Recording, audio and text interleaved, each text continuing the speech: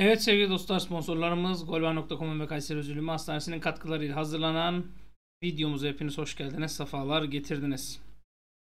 Hangi haberden başlayayım, neresinden başlayayım bilmiyorum ama bir yerden başlamak gerektiğini düşünüyorum ve hızlı bir şekilde girişi yapıyorum. Beşiktaş'tan Fenerbahçe'yi şok edecek hamle görüşmeler başladı diyor haberde. Ara transfer dönemi devam ederken Süper Lig'in devleri de dev hamlelerine devam ediyor. Vegors'tu kaybeden Beşiktaş Fenerbahçe'nin de transfer etmek istediği yıldız golcü için görüşmelere başladı diyor. İşte olaya sebep olacak transfer operasyonunun detayları. Beşiktaş eski golcüsü Vincent Abu Bakar'ı yeniden kadrosuna kattı ve ezeli rakibi Fenerbahçe'nin ilgilendiği yıldız içinde görüşmelere başladı diyor. Şimdi Beşiktaş'ı kesmemiş sanırım Abu Bakar. Vegors'u da elden kaçırınca demişler ki ne yapalım ne edelim en iyisi e, Fenerbahçe'nin ilgilendiği bir isim. Kimmiş bu isim? Borini. NTV Spor'un haberine göre Beşiktaş ezeli rakip Fenerbahçe'nin transfer etmek istediği Fabio Borini'yi kadrosuna katmak istiyor. Siyah beyazlar İtalyan oyuncu için Babakars Fatih Karagümrük'te görüşmelere başladı. Siyah beyazlar Fatih Karagümrük'te gösterdiği performansla dikkatleri üstüne çeken 31 yaşındaki oyuncuyu kadrosuna katmak istiyor. Şimdi yaklaşık 3-4 hafta önce ben burada Borini'yi överken Fenerbahçe'ye gelsin derken operasyon çekiliyor derken çöpleyen arkadaşlar şimdi adı Beşiktaş'ta anıldı ya. Şimdi derler ki bir Borini'yi bile alamıyor derler. Görün bakın yorumlar bunlarla dolar. Sohbet bunlarla e, çalkalanır. Twitter bu yorumla e, gündem olur. Şimdi Fenerbahçe'de Karagümrük'ün yıldız golcüsüyle yakından ilgileniyor. Hatta Sarı Kulübü'nün Borini için Karagümrük'e bonservisi alınan Buruma'yı önerdiği iddia edilmişti. Yo iddia iddia değil direkt Buruma'yı sezon sonuna kadar size kiralayalım dedik. Eğer satamazsak diye. Yani ee, dev takas desek yeridir. Biz bir nevi bunu istiyoruz. Ha şunu da söyleyeyim. Sözleşmesi sezon sonunda sona eriyor. Yani hücumda farklı bölgelerde oynayabilen Borini e, bonservis de zor olacak. Çünkü sezon sonunda sözleşmesi bitiyor. Herhangi bir kiralama ihtimali yok. Yani aldı aldı almadı sıkıntı. Tabi Karagümrük'te bir açıklama yaptı. Oyuncumuz Fabio Borini ile ilgili çıkan transfer haberleri gerçeği yansıtmamaktadır diye. Son 3 sezondur Fatih Karagümrük'te 63 maç, 28 gol, 13 asist. Ancak bu sezon 19 maç, 13 gol, 7 asist. Yani 41 gollük katkının 20 golü sadece bu sezon. Diğer iki sezonun toplamından e, hani 2 gol daha fazladan şey yapsa diğer iki sezonun toplamından daha fazla e, gol katkısına sahip olacak. Üstelik sezonun henüz daha yarısındayken Tabi gol krallığı yarışında 15 golle Enner Valencia zirvedeyken 12 golle ikinci sırada yer alıyor. Asist krallığında zirvede. Chelsea, Liverpool, Sunderland, Swansea City, Milan, Roma, Verona gibi kulüplerde forma giydi. Ben şunu söyleyebilirim. Yani Borini olmaz diyen arkadaşlar bence temkinli yaklaşsınlar. Olur diyen arkadaşlar zaten temkinli yaklaşsınlar. Olur mu? Yıldız oyuncu ısrar etti Fenerbahçe transferi bitirdi. 10 milyon euro. Ee, Jorge Jesus'un raporları doğrultusunda. Bakın arkadaşlar burada önemli bir nüans var. İşinize geldi mi de Ali Koç'u eleştiriyorsunuz. İşinize geldi mi de yönetimi eleştiriyorsunuz. İşinize geldi mi de Jesus'u. Ama Fenerbahçe'de Jesus istiyor. Yönetim gidiyor, görüşüyor, alıyor. Burada benim anlamadığım şey şu. Yönetimlik ne suç var? Şimdi şöyle söyleyeyim. Mustafa hocam şurayı 30 bin yaparız. Hem de bir gün içinde yaparız. E tek şartımız var. Nedir kardeşim? Canlı yayın aç dediniz. Canlı yayın açtım. Lan gözüm sürekli orada. Hadi arkadaşlar arttırın hocam. Biraz bekle, biraz bekle, biraz bekle. 29.900'e dayandı. Şimdi benim size kızmaya hakkım yok. 29.900 ha 30 bin ha 29.900 100 kişilik bir şey kalmış. Elinizden geleni yaptınız. Sizin de bana kızmaya hakkınız yok. Canlı yayın yap dediniz. Yapmış oldum. Ortada böyle bir durum var arkadaşlar. Yani şey de böyle. Şimdi Jesus kadroyu güçlendirmek için bir futbolcu istiyor ve futbolcu da artık sona gelindi. Ee, sakatlar dönmeye hazır diyor Fenerbahçe'de. Osayi Samuel sakatlandı. Joshua King ağrısı var.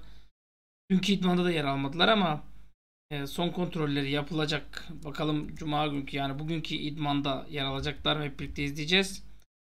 Crespo'da düşüş sürüyor ki kime sorsam bunu söylüyor. Kiminle konuşsam Crespo'nun düştüğünü belirtiyor oyundan.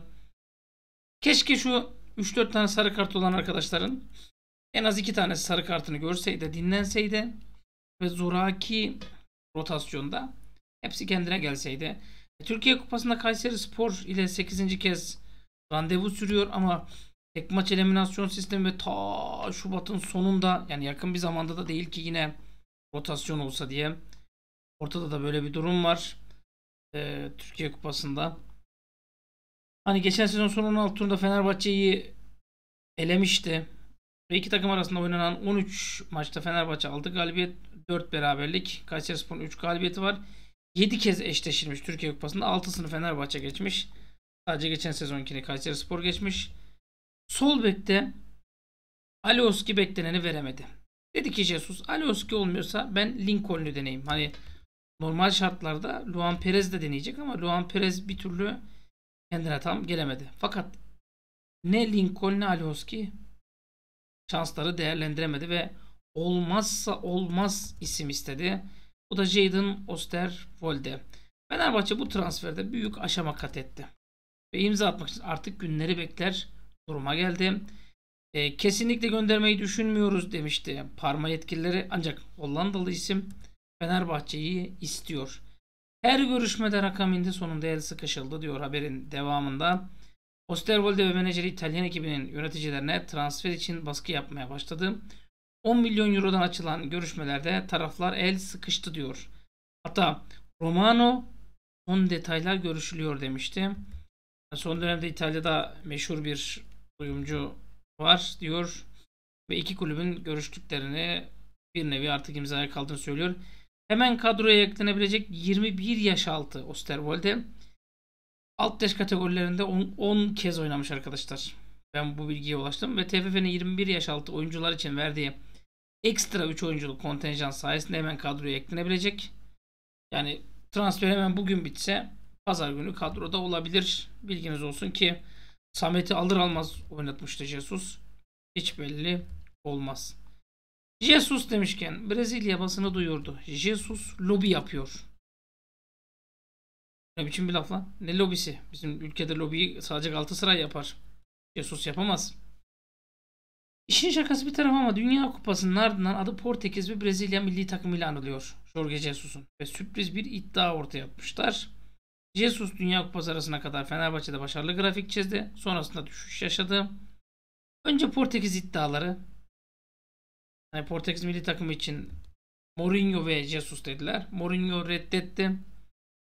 Ve Portekiz basını da Jesus'u duyurmuştu. Şimdi Brezilya basınından da müthiş bir iddia ortaya geldi. Goal Brezilya'da yer alan habere göre Jesus Brezilya milli takımı çalıştırmanın hayaliyle yaşıyormuş. Sözleşmemde sorun olmaz diyormuş. Arkadaşlar bunu geçiniz. Ne Jesus'a bir teklif var ne Jesus'un hani bana teklif yok mu diye sorduğu bir soru var. Merak etmeyin böyle bir olay gerçeği yansıtmıyor. Fenerbahçe'nin yıldızına dev talip kim ikna etti diyor haberde. Fakat haberin yarısını aldım.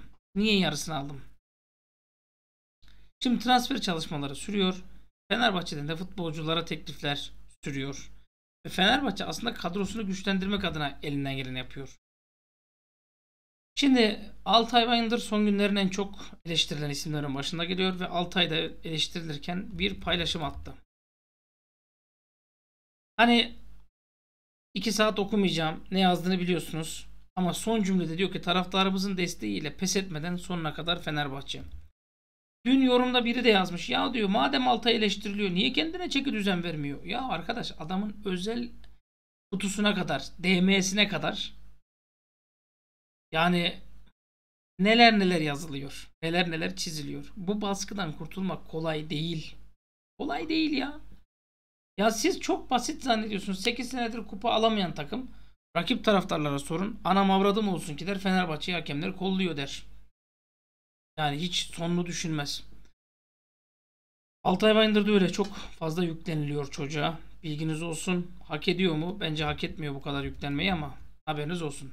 Bu arada algı demişken Ateş Bakan'ın yazısından örnek vereceğim birazdan bekleyin. Kaleci aranıyor demiş. Yönetim teknik heyet yine Altay'la rekabete girecek. Tecrübeli bir kaleci arayışına girmiş. Ee, Salvatore Sirigu'nun ismi anılıyordu demiş. Deneyimli eldiven sezonun başında bonservis elindeyken Fenerbahçe'nin gündemine geldi. Ama olmadı. Napoli'nin yolunu tuttu 36 yaşındaki kaleci hiç süre alamadı. Meret'le rekabete giremedi falan filan diyor. Sonra Navas'a öncelik verdi Fenerbahçe diyor.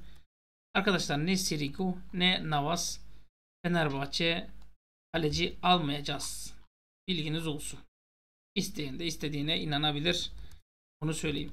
Sevgili Ateş Bakan. Kendisi beni tanımaz ama ben onu tanırım. Diyor ki Galatasaray saha içinde. 1. Mesut Bakkal. Beşiktaş liderdi. Galatasaray'dan teşvik aldık diyor Mesut Bakkal. Atlara verilen haptan aldık. Beşiktaş'ta 1-1 berabere kaldık. Galatasaray da Antalya'yı 3-1 yendi. Lider oldu. Tenis kulübünde bizi ağırladılar diyor. Antalyalı bazı futbolcular da geldi. Alın size itiraf. 1987'nin itirafı. Yine Galatasaray saha içinde 2. Ahmet Çakar. Gözümün önünde şike yapıldı. Galatasaray Şampiyonlar Ligi'ne girdiği ilk Manchester United maçı 3-3 bitmişti. Türkiye'deki maçta gözümün önünde İsviçreli hakem Kurt bilmem Röstlisberger'le Galatasaray idarecileri şike pazarlığı yaptılar. Anlaştılar diyor. 3. Hayrettin Demirbaş. Fenerbahçe şampiyon olmasın diye Beşiktaş'a 4-3 yenildik. Ben arkadaşlarımla kavga ettim diyor. Bunların hepsi resmi itiraf arkadaşlar. Bilginiz olsun. 4. Kocaeli kalecisi Dumitru Stangaciu Galatasaraylı Hacı ve Popescu Fenerbahçe'yi yenmemiz için bana 20 bin dolar verdiler. 28. hafta Fener liderdi. Biz yendik Galatasaray şampiyon oldu diyor. 98 yılı. Bir takımın hani diyorsunuz ya tarihinde şike olan takımı tutmam diye. Bırakmanız için 4 sebep saydım. 5. 12 Temmuz 2011 UEFA Fenerbahçe'nin Şampiyonlar Ligi'ne katılmasını onayladı. Bakın UEFA onayladı. Galatasaray resmi sitesinden açıklama geldi. Bu ateş üfleyerek sönmez. Çözüm zamana yayılamaz diye. Ünal Aysel paylaşmış bunu. Hani sahanın içinde kalıyor ya Galatasaray hep. 6. 3 Temmuz Federasyonu. Genel Sekreteri Lütfi Arıboğan Galatasaray'da CEO oldu. Hukuk İşleri Müdürü Helvacı Galatasaray Yönetim Kurulu üyesi oldu. Genel Sekreteri Ebru Köksal Galatasaray Yönetim Kurulu üyesi oldu. 3 Temmuz sürecinde Fenerbahçe şiki yaptıysa Allah Fenerbahçe'nin belasını versin. Ama Fenerbahçe şiki yapmadı. FETÖ'cülerden taraf destek olunduysa bu 3 ismin de Allah bin bir türlü belasını versin. Ve bu isimleri görevlendireni de belasını versin. Bunlar arka çıkanı da belasını versin. Olur mu? Yani bu beddua değil arkadaşlar. Bu gerçek sorunlar ortaya çıksın diye edilen bir dua. Ben sadece dua ediyorum. Kim Fenerbahçe'nin hakkını yese Allah çıkarsın. Kim yemeği sürdürürse Allah çıkarsın. Kim Fenerbahçe'nin hakkını yensin diye bir şeyler kuruyorsa Allah çıkarsın. Yedinci madde. Galatasaray saha içinde 7. 4 Nisan 2015. Fenerbahçe otobüsü kurşunlandı. Galatasaray alaycı bir tişört bastırdı. O günün o tişörtünü giyen şahsın yani yakın zamanda da büyük bir acısı vardı. Yani bu arkadaşın I love you hocam yazması yani I love you hocam diye kime yazıyor? Niye Amerikan aksamında İngilizce ile yazıyor? Amerika'da bir hocası mı var diye akıllara gelmişti. Çünkü Türkiye'deki hocası Türktü. Gerizekalı değil herhalde İngilizce yazıp I love you hocam yazacağına. Ve son olarak Galatasaray saha içinde 8 4 Nisan 2015 Fenerbahçe Rize Trabzon yolunda otobüsü kurşunlandı. Abdurrahim Malbayrak ve Galatasaraylı yöneticileri Rize Trabzon yolunda bizi niye kurşunlamıyorlar gibisinden minibüs kullanarak tarihe altın harflerle yazılacak bir rezalete imza attılar. Adalet herkes için geçerli. Saha içindeyiz deyip de saha dışında yapılan her türlü pisliği biz görüyoruz. Kimsenin şüphesi olmasın. Bu videoyu özetleyecek olursak arkadaşlar Osterwolde kulübüne baskı yapıyor. Her an açıklamasını bekliyoruz ama niye açıklanmadı daha 27 Ocak oldu? Biz de bekliyoruz. Borini için her ne kadar Süleyman Urma Fenerbahçe ile görüşmedik dese de her an her şeye hazır olun. Buruma Karagümrük kiralık olabilir. Jesus'un hiçbir yere gittiği yok. Brezilya milli takımından teklif aldığı yok. Orada lobi yaptığı yok. Bilginiz olsun. Valencia 1 artı 1 sözleşme uzatmak üzere ama daha niye açıklamadı bilmiyorum. Lincoln eğer bir Osterwolde gelirse sol bek, Alioski gitmeyecek olursa bence Lincoln orijinal mevkisine geçer. Alıştığımız gol ve asistlerini yapan Lincoln'u izlemeye başlarız. Alioski'nin de gidecek gibi dur, durmadığını belirteyim. Beşiktaş'ın teklifi var falan diyor. Fenerbahçe isterse alır. Crespo Altay ben destekliyorum. Evet son zamanlarda düşüşteler ama durum bu. Ve mide bulandıran iddialar ve yine Galatasaray. Allah Fenerbahçe'nin yar ve yardımcısı olsun. Görüşmek üzere.